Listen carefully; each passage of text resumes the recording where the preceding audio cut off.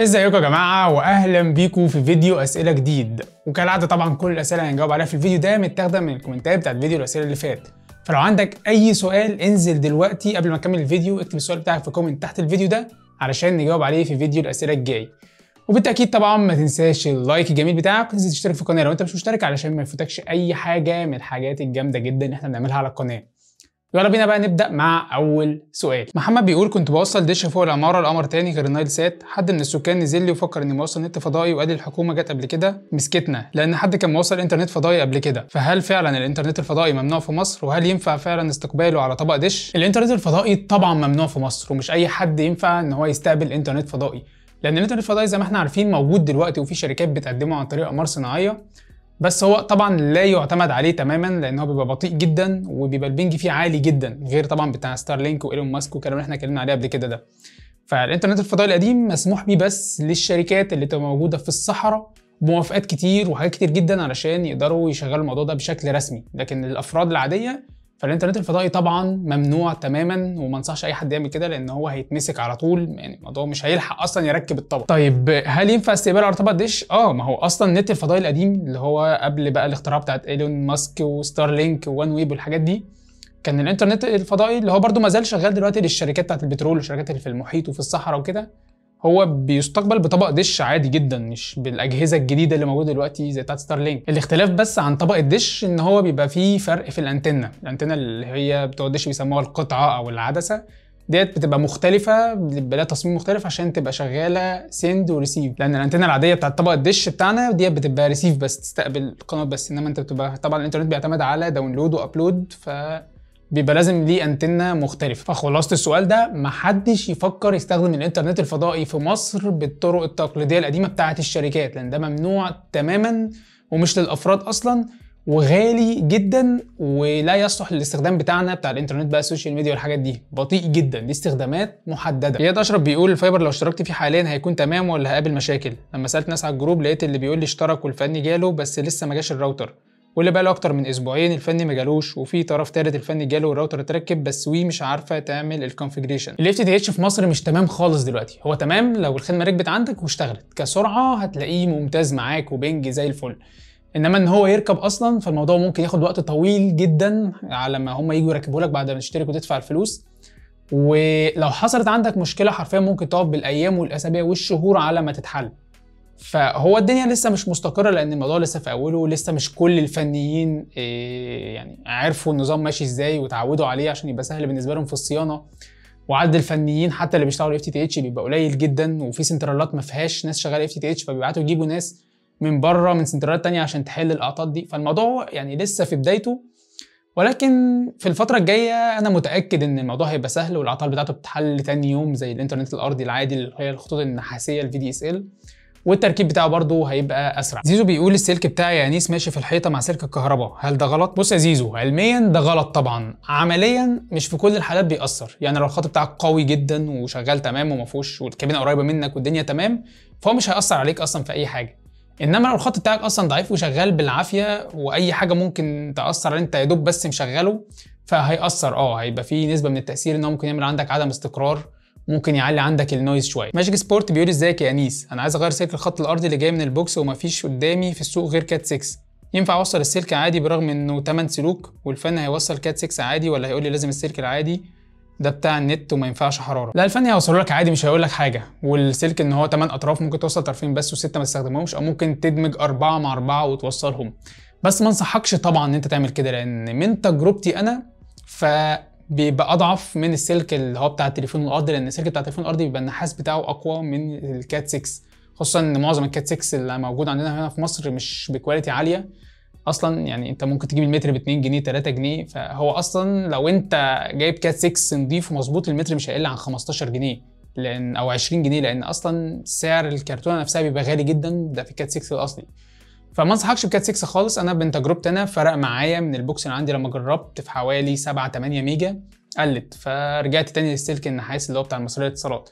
فخلي الفني يجيب لك سلك أو دور بقى في محلات الكهرباء على سلك سويدي بس يعني أهم حاجة أنت تلاقيه أصلا. دي Tech بيقول ممكن أعرف ليه عندك نظامين إنترنت واحد home 4 G والتاني عادي 140 بتاع وي. ليه ما تعملش باقة واحدة كبيرة بسرعة عالية وشكرا. عشان ال upload طبعا. أنا لما باجي أرفع فيديو بالنسبة للإنترنت الأرضي فأقصى سرعة ممكن أوصل لها اللي هي 70 mega ب 7 mega upload. إنما ال home 4 G بيوصل معايا دلوقتي ل 30 mega upload وأكتر كمان. فأنا برفع الفيديو بيبقى 4K مساحته بتبقى في range ال 10 جيجا. فبالتالي أنا محتاج upload قوي لأن هنا في ال 4 G برفع مثلا الفيديو في نص ساعة في 40 دقيقة. هناك الفيديو بيقعد مثلا بالخمس والست ساعات. محمد درويش بيقول أنيس أنا عندي مشكلة. دي شركة فودافون مش مدعمة دمج المكالمات غير لما تعمل نظام خطك فاتورة ب 400 جنيه. مع العلم باقي الشركات معايا شغالة مع أي نظام حتى لو المكالمة نظام 14 قرش. للأسف فعلا فودافون واورنج مش مدعمة دمج المكالمات على ال prepaid إنما شغالة على ال postpaid عادي جدا. واتصالات شغالة على ال postpaid وال prepaid. تفسيري للموضوع ده هو إن هم عايزين يميزوا ال postpaid اللي هو بقى فودافون Red والحاجات دي إن هي تبقى مميزة بحاجة معينة فإن أنت مثلا تروح تشترك فيها أو كده. مفيش من وجهة نظري تفسير تاني غير كده. مؤمن محمد بيقول لي انيس هو صحيح سرعه ال upload بتكون بطيئه بسبب نوع الراوتر. لو صحيح تنصحني بأنهي راوتر؟ أنا عندي router HG 531 V 1 أكيد طبعا سرعه ال upload بتكون بطيئه بسبب نوع الراوتر لو أنت راوتر عندك قديم زي اللي أنت قلت لي عليه دوت وهو ADSL أنت لازم تجيب router VDSL لأن routerات ال ADSL بيبقى آخرها 1 ميجا في ال upload وفي بعض الحالات 2 ميجا حتى لو الخط عندك قوي جدا. إنما ال VDSL طبعا بيوصل معاك سرعات upload أعلى من كده ممكن توصل ل 30 ميجا أو أكتر كمان. وفي العادي يعني ال average ممكن توصل ل 10 ميجا عند معظم الناس. فأنصحك أنت تغير الراوتر بتاعك لراوتر VDSL أنصحك لو أنت عايز راوتر كويس جدا بال VR 400 تي بي لينك عملنا عنه فيديو على القناة. اكتب بس كده محمد أنيس تي بي لينك VR 400 الراوتر ده رهيب يا جماعة وأكتر راوتر حتى الآن بنصح بشرائه كورة بيقول السلام عليكم. عاوز تطبيق أقدر من خلاله أتحكم في الواي فاي وأنا بعيد عن البيت ومش عامل اتصال بشبكة الواي فاي. وأنا بستخدم راوتر وي وشكرا مقدما متابع جديد. للأسف عشان تتحكم في الراوتر بتاعك من بره البيت فلازم يكون الراوتر بيدعم حاجة زي كده زي راوترات تي بي لينك مثلا اللي فيها خدمة ال cloud. فأنت بتضيف عليها ال application وبالتالي تقدر تفتح الراوتر من بره البيت. إنما أي راوتر عادي ما تكونش الشركة اللي مصنعاه عاملة فيه الميزة دي فللأسف مش هتقدر تتحكم فيه وانت بره البيت. يوسف بيقول شايف أفضل إن ناخد راوتر ال VDSL من الشركة بالتقسيط 5 جنيه كل شهر ولا أجيب راوتر من بره؟ أنا من وجهة نظري تجيب طبعا راوتر من بره. وأنصحك برضو زي ما جاوبنا كده في السؤال اللي قبل ده بالتي بي لينك ال VR 400 راوتر محترم جدا ولو شفت الفيديو هتفهم الراوتر ده عاجبني ليه ومش هتحتاج تغيره قبل سنين. نعيم بيقول هل شركة فودافون هتخرج من مصر ولا مكملة؟ سمعت إن في قضية مرفوعة إنهم عايزين يلغوا فودافون خالص من مصر. هل ده صحيح؟ القضية اللي مرفوعه دي في شنك يعني مش توصل لحاجة في الآخر وملهاش علاقة بإن فودافون أصلا عايزه تبيع حصتها في مصر وتخرج من السوق المصري. فودافون عايزه تبيع حصتها في مصر ليه؟ هو يعني أكيد يعني معظمنا عارف السبب وهو إن هي في صعوبات بتواجهها هنا في مصر خصوصا إن هي مش قادرة تمتلك حاجة في البنية التحتية وبتدفع تكلفة كبيرة جدا عشان تشغل الأبراج بتاعتها ويبقى الكابلات اللي بتوصل للأبراج لازم بتدفع لها إيجار أو رسوم للمصرية الاتصالات وبتدفع إيجار البورتات بتاعت الإنترنت الأرضي عشان تشغل عملاء على الإنترنت الأرضي ففي ضغوط كتير جدا وعشان حتى يبنوا برج جديد فبيقعدوا سنة بياخدوا في تصاريح والشبكة عندهم بقت بايظة وبقى عندهم مشاكل بسبب إن هم مش قادرين ينافسوا في مصر زي ما بينافسوا بره ومحققين نجاحات بره مصر رهيبة جدا. فهي عايزة تخرج من السوق المصري بس هل فعلا الصفقة دي هتتم ولا لأ؟ هنعرف هنعرف الشهر ده إيه اللي هيحصل. الدسوقي بيقول أين مراجعة تي بي لينك VR 600 version 3 AC 2100 الذي وعدت بها؟ قريبا إن شاء الله. والله يعني هو في الخطة بس الفترة اللي فاتت ديت اتشغلت بكام فيديو بحاجات كتير جدا فتأخرت مراجعة ال VR 600 ولكن انتظروها هتنزل قريب جدا جدا جدا. عمر السباع بيقول لي هاتف أوبو فايند إن مقاس شاشته الخارجية 5.5 إنش والداخلية 7.1 إنش. مش المفروض تبقى 11 إنش وشكرا. بص أنت مش معنى إن أنت عندك شاشة مثلا 5.5 إنش وفتحتها بقت ضعف المساحة تبقى دي 11 إنش. لا الإنش مش بيتقاس كده. الإنش بيتقاس بالزاوية كده يعني. مثلا أنت عندك موبايل فهو بيجي كده بزاوية من هنا لهنا وبالتالي أنت تقدر تقيس الإنش عن طريق الزاوية دي. فلما يكون مثلا عندك شاشة 50 إنش وعندك 10 موبايلات كل موبايل 5 إنش لو حطيتهم كلهم كده في مربع هتلاقيهم ما يجوش ربع الشاشة. لأن أنت كل ما بتزود الإنش المساحة بتتضاعف أكتر. زي ما أنت قلت كده خمسة ونص إنش لما بيتضاعفوا بيبقوا 7 إنش مش 10 إنش. السؤال اللي بعد كده من رجب بيقول لي عايز أشترك في الجروب بيقول لي انتظر المراجعين لما يوافقوا على الطلب. بقالي كتير. بص يا رجب علشان تخش جروب Internet Community in Egypt فلازم ال account بتاعك يكون عدى عليه سنة. لو ال account عدى عليه سنة فهو تلقائي بيخش لوحده ما بتنتظرش المراجعين إن هم يوافقوا عليه أو ال admins إن هم يوافقوا لك أنت تخش جروب. إنما ال account بتاعك كده بالتأكيد ما عداش عليه سنة فبالتالي بيفضل هو معلقك لحد ما يعدي عليه سنة لأن ال admin مش بيقبل الأعضاء الجديدة لأن هو عارف إن الأعضاء الجديدة هتقبل لوحدها لو معدية سنة. فمجرد ما بيعدي على ال account بتاعك سنه ال account بيخش جروب عادي جدا وبيشتغل. طبعا إحنا عملنا الموضوع ده علشان الاكونتات ال fake دي كانت بتخش وال spam وكده لما بيكون معدي عليه سنة فده بيبقى بنسبة كبيرة جدا account حقيقي. السؤال اللي بعد كده من منوعات gamer بيقول هل باقات ال IPTV هتوفر في اورنج والشركات التانية ولا وي زي عادتها بتاخد كل حاجة لنفسها؟ بص هو مش فكرة وي بتاخد كل حاجة لنفسها لأن ما فيش حاجة تمنع الشركات التانية إن هي تقدم خدمة زي دي. بس كل الفكرة إن وي أصلا في الأساس شركة إنترنت ارضي فهي مركزة على الانترنت الارضي جدا وإن هي تقدم فيه خدمات أكتر. إنما الثلاث شركات الباقيين هم أصلا شركات موبايل والإنترنت الارضي عندهم حاجة إضافية. فهم بس فكرة إن هو يقدموه لكن مش عايزين أو مش في دماغهم إن هم مثلا يطوروه أو يعملوا فيه حاجة. لأن وي زي ما أنتم عارفين هي الشركة الأساسية أصلا الانترنت والخطوط الارضي فتلاقيها عمالة تعمل مثلا IPTV تعمل قسم لل gaming تعمل راوتر dual band الحاجات دي كلها الشركات مش بتفكر فيها هي كل وجهة نظرها عايزة تشغل انترنت وخلاص. فنتمنى نتمنى بقية الشركات تركز وتقدم لنا حاجات متطورة أكتر خدمات أكتر في الفترة الجاية. السؤال اللي بعد كده من ياسين بيقول إيه الحل لإدمان الإنترنت والأجهزة؟ وكيف بتتصرف عند ملاحظتك لذلك الشيء على نفسك؟ بص هقول لك تجربتي أنا، أنا لقيت الحل الوحيد إن أنا أنظم اليوم بتاعي وأكتب الحاجات اللي ورايا، يعني أنا مثلا ورايا كذا أنظم مثلا الأسبوع كله ورايا بكرة كذا، بعده هعمل كذا، النهارده هعمل كذا. فلما بيجي اليوم بعمل الحاجات اللي ورايا الأول وبعد كده بقى طول ما أنا فاضي أقعد بقى أمسك الموبايل إن شاء الله 10 ساعات في اليوم طول ما أنا ما ورايش حاجة. طبعا دي حاجة ما بتتكررش أو ما بتحصلش أصلا بس يعني الوقت اللي أنا فاضي فيه بمسك الموبايل بس أخلص الحاجات اللي ورايا الأول اللي أنا كاتبها. طول ما أنا ورايا task معين ما أعملش أي حاجة غير لما أخلصه. لأن أنا لو قعدت أعمل أي حاجة ملهاش لازمة وأنا ورايا حاجة ببقى متضايق وقرفان ولا ده أنا ورايا. فخلص عشان اعمل اي حاجة تانية وأنا مستريح. فاكتب كده الحاجات اللي وراك واعمل حسابك ان انت طول ما الحاجة دي مكتوبة ما تعملش حاجة تانية إلا لما تخلصها كده وتعمل جنبها. صح. إسماعيل بيقول لي ما فيش في مصر غير راوترات تي بي لينك مع إن في شركات كتير وأسمع إن تي بي لينك مش الأقوى ولا الأولى عالميا. بص تي بي لينك في آخر 3 4 سنين بقت تستهدف ال consumers بشكل كبير جدا في العالم كله. ونسبة مبيعاتها بقت أكبر بكتير جدا من زمان وبقت من أكبر الشركات اللي بتعمل مبيعات في الانترنت المنزلي أو الأجهزة المستخدمة لل consumers في العالم مش ال business ال business طبعا في شركات تانية هي المتفوقة عليها بكتير. فتي بي لينك حققت نجاح قوي جدا وبقى لها مبيعات كتير جدا في الراوترات والأجهزة اللي إحنا بنستخدمها في البيت. وده من وجهة نظري شايف إن هو بسبب ال software يعني حاليا في شركات في مصر أنت بتقول ما فيش تي بي لينك لا في في دي لينك وفي شركة مثلا تانية أو شركتين. بس ما بيبيعوش ومحدش بيسمع عنهم لأن حتى أنا مش هتكلم عنهم ان أنا مش هجيب لك راوتر ما فيهوش software ما فيهوش حاجة يعتمد عليها سعره غالي جدا. تي بي لينك أنا ما أعرفش إزاي بتعمل الأسعار دي. أسعارها قوية جدا وكويسة جدا. وفي نفس الوقت ال quality بتاعتها في ال hardware كويسة. هي مش أجمد حاجة طبعا في حاجات أجمد منها. ولكن في ال software حرفيا أنا ما شفتش أحسن من software بتاع تي بي لينك في العالم كله. هي من وجهة نظري أفضل شركة بتعمل software للراوترات بتاعت الإنترنت المنزلي في العالم. فده أكيد هو اللي محقق لها النجاح ده واللي خلاها انتشرت واتشهرت في العالم كله في الفترة الأخيرة. يوسف بيقول ازيك يا انيس هل الراوتر ممكن ينقل فيروسات تضر الأجهزة المتصله بيه؟ ولو ده فعلا ممكن أحافظ على الراوتر إزاي؟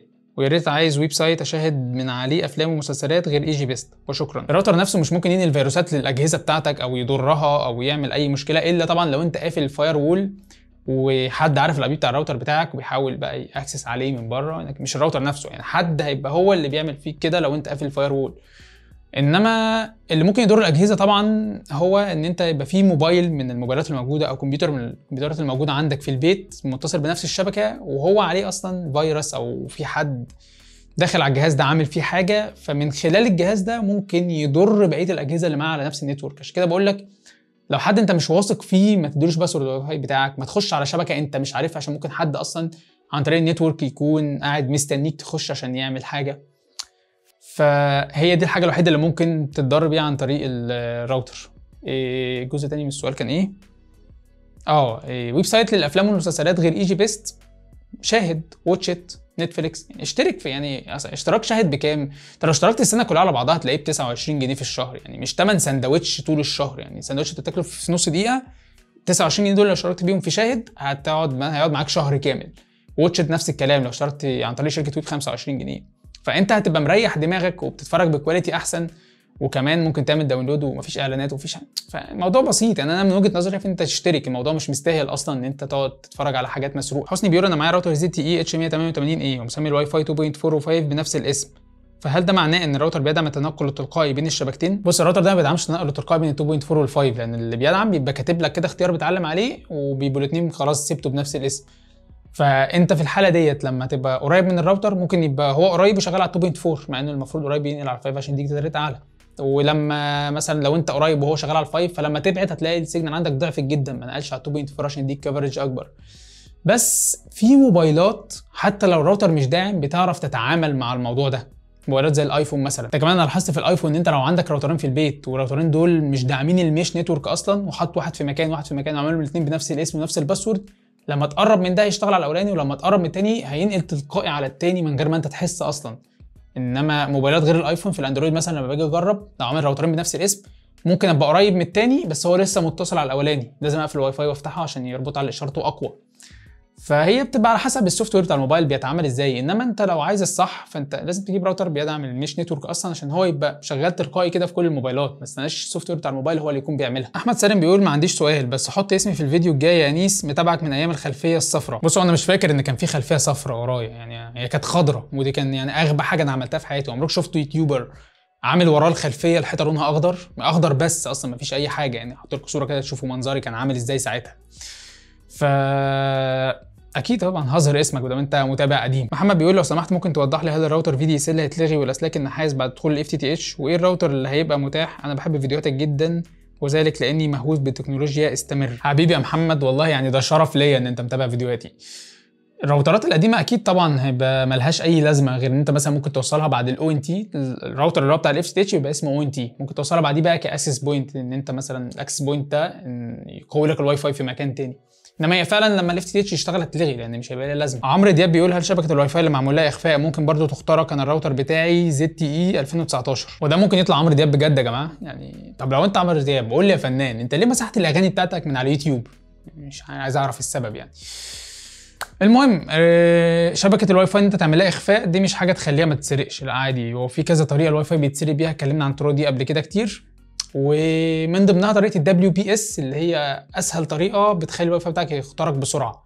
قفل أو إن أنت تخفي شبكة الواي فاي أنت أصلا بتقفل WPS فأنت كده في إحدى الطرق اللي هي تعتبر يعني أكتر حاجة منتشرة فيهم كده خلاص أنت منعتها. إنما لسه في طرق تانية يعني إن أنت بقى لازم بقى تعمل واي فاي صعب وحروف وأرقام وتعمله دبليو بي اي 2 اي اي اس فعشان تأمن الدنيا أكتر. لكن إن أنت تخفي شبكة الواي فاي دي مش الطريقة الوحيدة إن أنت تحمي بيها نفسك. عادي ممكن تبقى خفيها وتخترق برضو عادي جدا.